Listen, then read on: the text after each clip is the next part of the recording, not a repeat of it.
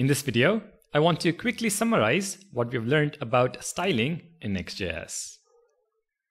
We started off with global styles. We learned that to add a global style sheet to our application, we need to import the CSS file within pages slash underscore app.js.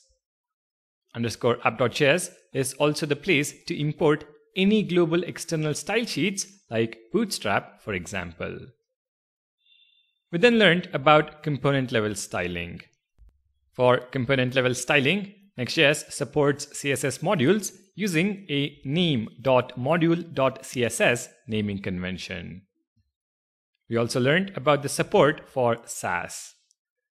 Next.js doesn't support Sass out of the box, but all you have to do is simply install the package in the project and Next.js will take care of the rest.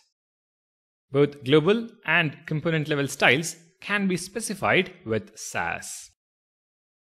Finally, we had a look at CSS in JS styling solutions.